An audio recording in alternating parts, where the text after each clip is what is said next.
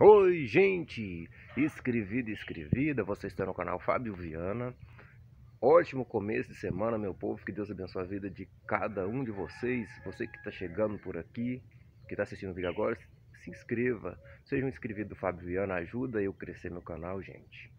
E hoje eu quero perguntar para vocês: você está fazendo a diferença na vida dos outros? Você que é meu inscrevido, você que está passando por aqui, está ajudando alguém de vez em quando? A vida a gente está de passagem, a gente está aqui para produzir.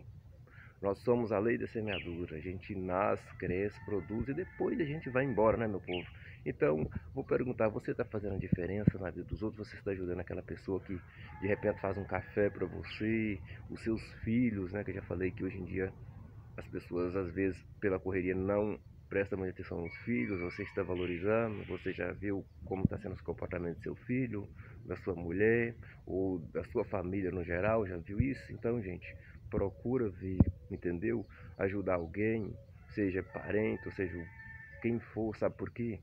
É muito fácil a gente ficar tocados ou tocados com as pessoas que morreram em outro lugar, em outro país, ou que está ruim lá, mas a gente não vê a nossa família, nossas coisas, né, gente?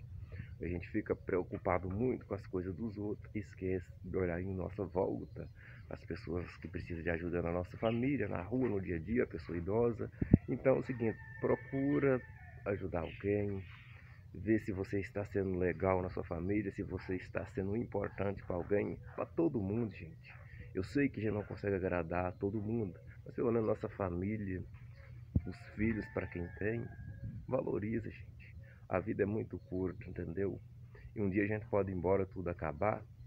E os filhos pequenos, um dia ficar adultos, vão embora também. E tudo vira saudade na sua vida.